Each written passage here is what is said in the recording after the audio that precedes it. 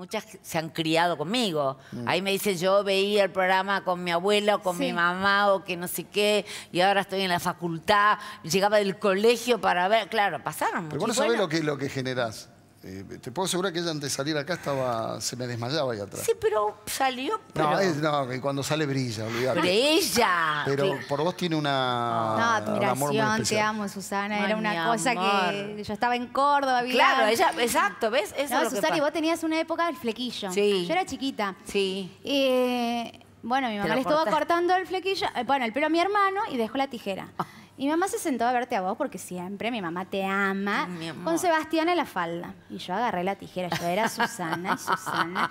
Me agarré el ¿Y te pelo. cortaste? hice así, Susana. No así, me digas. y me corté. Le ¡Ay! dije, Ma, estoy linda.